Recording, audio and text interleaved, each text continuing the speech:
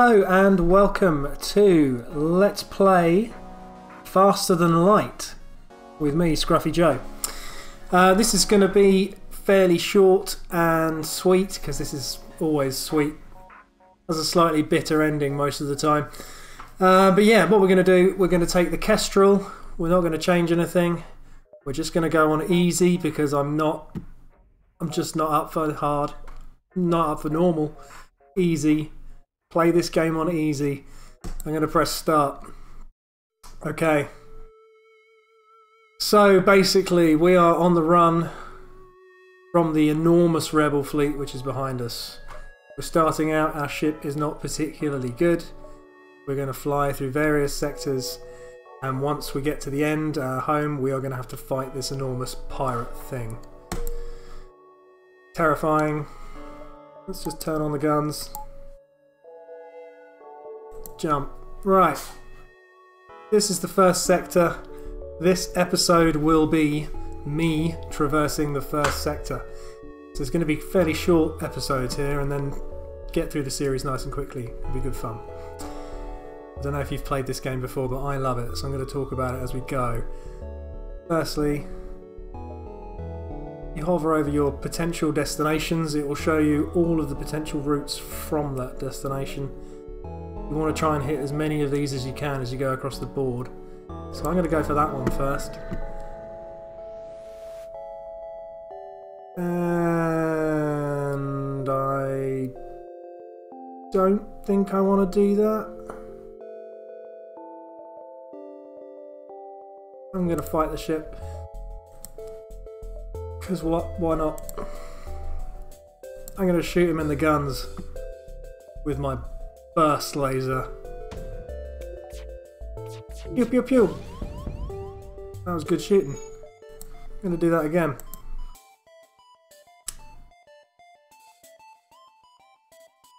I'm not gonna worry about anything else. I'm gonna pop a cap in his engines. Stitch that. Uh, right, so what we got here, we got missiles, we got drone control parts, and we've got cash. Yay, we took some damage. Somebody needs to go and repair that. We desperately need a fourth crewman. So what we do, we're just going to sit here, wait for him to do that. See it, bars down here. Do, do, do, do, do. And shields up and then go back to weapon stations. Jump! Okay, I can run down to this distress beacon. That means there'll be a potential fight there or something interesting to do. Basically in this game you just want to go and... Uh... Ooh...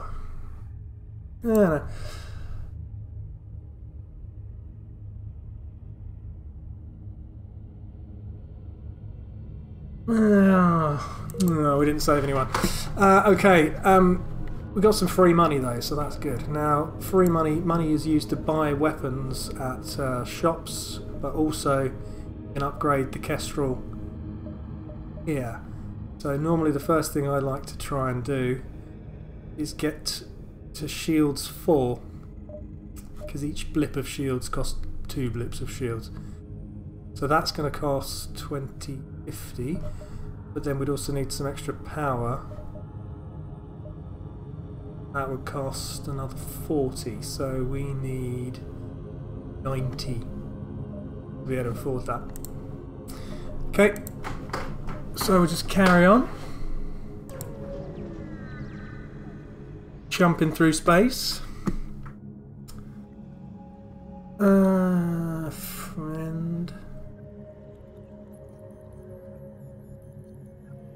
pirate. It's a pirate. I'm going to blow it up. I'm always going to blow up the pirates. I'm going to do it heavy-handedly this one.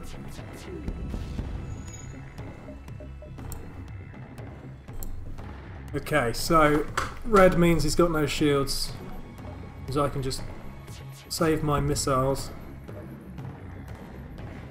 And I will accept that. Thank you very much. 79. So our target is 90. Ooh, asteroid field. Okay, so every now and again in an asteroid field, excuse me, you're going to get clonked by a rock. It's going to knock out one bit of shield like that, which means you're then in trouble if you get shot. Oof, that was good timing. Eesh, that was bad timing. There's a fire. Shields, thank you. Okay, so I've opened this to space and that's the quickest way to put a fire out. We're waiting for this to charge and hoping we don't get clonked by another rock.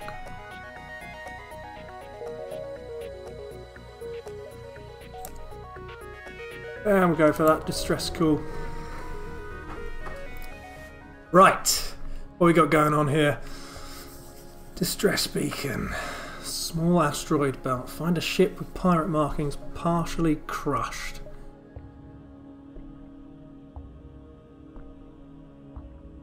Mm, I mean, I feel slightly guilty because I did just kill a load of pirates for no real good reason.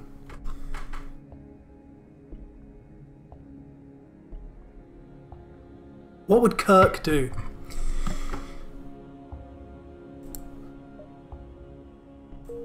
That was very Kirk of me, and it was a good shot as well. That was Sulu. Sulu did the shooting, didn't he? Right, we got cash. Dunk, donk, bonk, bonk. Accept. Brilliant.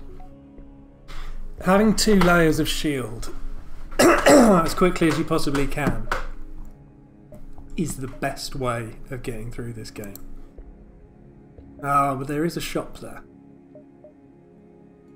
So what I can do, you could basically you're not going to get caught by this wave. If you get caught by this wave, everything turns horrid. Um, so I've got 39.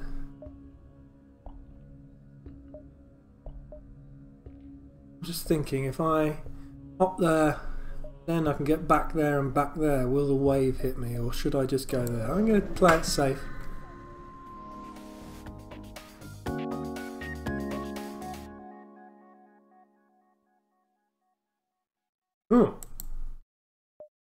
That's a fight. I'm going to shoot them in the shields. No, I'm not. I'm going to shoot them. I am going to shoot them in the shield. Um, yes. Yes, we accept your surrender. And let's go shopping hopefully we want some sort of additional burst laser type thing. But they don't have anything like that.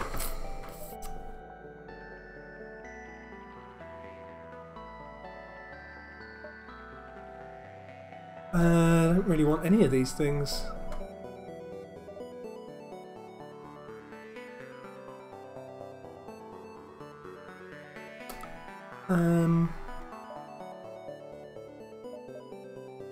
Get repairs.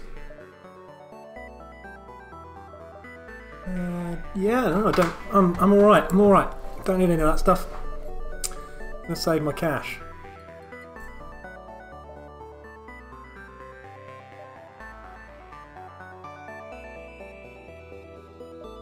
I think I'm gonna go this way.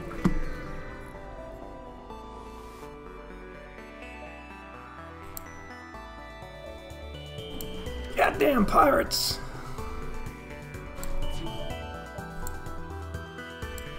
Okay, so this pirate's got weapons. It's also got these drones. That's why I'm shooting both rooms.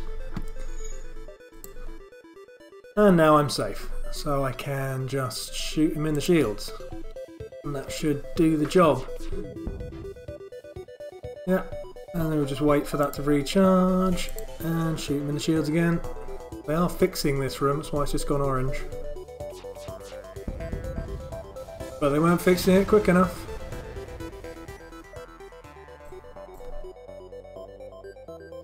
Ah! Well, that's fair enough. I wouldn't stick around while a big warship like me was pummeling a pirate. Right, let's see about some upgrades.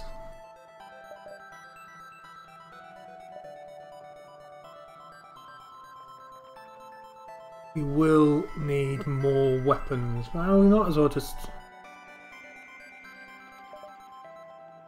get an extra power.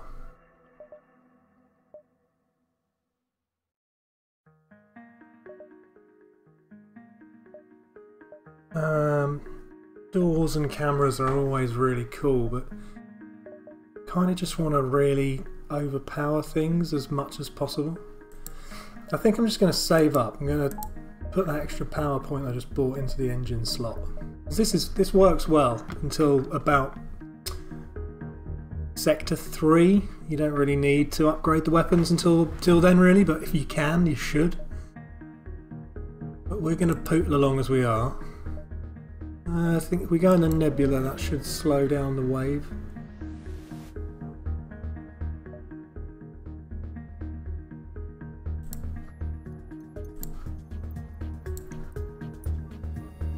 This is just a little drone, so it's got no shields. We just keep shooting it in the weapons. And then uh, that way we won't take too much damage. We can save... excuse me, I, we can save our uh, missiles. Perfect. No damage. Loads of money. Hang on a minute, which one of these is John? Just noticed John's slightly injured. Now, when you get somebody injured, just run in here. Uh, the best place to stand and have a fight with alien invaders, sick bay. You'll probably see that tactic before too long. Uh, I think we might have time to go there.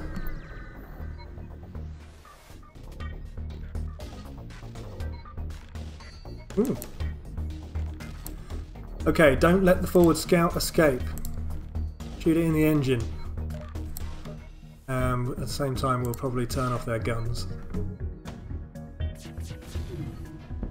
Oh, didn't quite do enough damage to the engine, so let's put another bullet in there.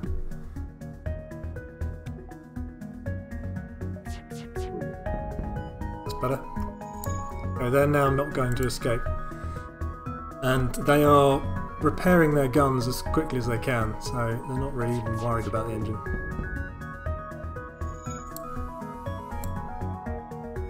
Oh, they have fixed all of their weapon systems, but we're still okay. The great thing about this game is if it gets too harsh and complicated and tricky, you can just pause it and work out what you're doing. I've been playing this fairly quickly to begin with because there's no reason for me to go slowly. Now, let's just think, where are we? Okay, so we go there, and then we go there. But before we do that, got 100 modification points.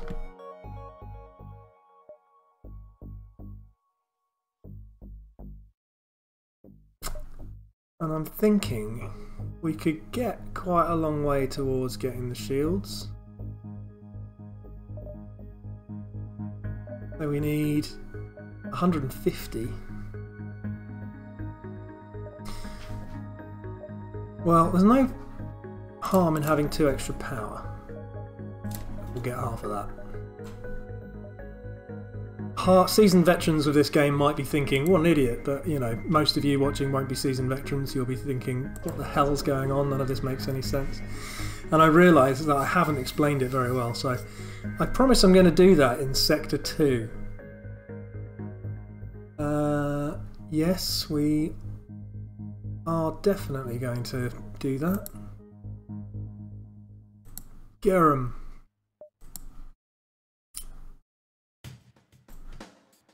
Once again, I will just shoot it in the weapons because it has no other useful stuff. These, while we're just doing this actually. This is a medical room, shields room, camera room, security room, engine, Weapons. That's not engine, Joe. Come on. Steering. Engine room and O2 producing room. There are other rooms as well. They all have different indicators and some of them are blank. These guys are doors, so you can open the doors, let space in, close the door. Everything's groovy. Um, and yeah, you, when you're in combat, you just point at these with your different weapon systems, which are down here, which you turn on with power. And shields only work in blocks of two. So although I've got that there, I can't use it yet. And we're just about going to make it before they catch us, which is perfect timing. Ooh, what's your speciality? Uh, yeah, because upgrading the doors costs 25. Fantastic. That's really cool. Handy. Right. There we go. So, before I leave it, this is the sector map. You go and you choose your route. Various different colours will mean different things. And the idea is that we've all got to try and get here for the final battle. And by the time we get here, we need to have upgraded our ship so that it is basically super hard and can deliver a lot of damage very quickly. It's, it's a good game. You can only have one save of it. So it's kind of this, this run all the way. Each episode is going to be around about this long. I'm probably going to do more explaining next episode because I didn't do that very well this time. But we'll see where we go. I think. I think we could have a relaxing time in an Uncharted Nebula. But I think we're more likely to pick up good weapon systems in rebel controlled lands. Hmm. Okay, well, we'll we'll think about that, and uh, I'll decide at the beginning of the next episode. But thanks for watching, and I hope that you're uh, you're in for this as much as I am. And yeah, see you for episode two, where we will either be Uncharted or in Rebel controlled lands. Uh, if you've liked it, press the subscribe button and uh, and leave a comment, and that would be great. Thanks very much. Cheers. Bye bye.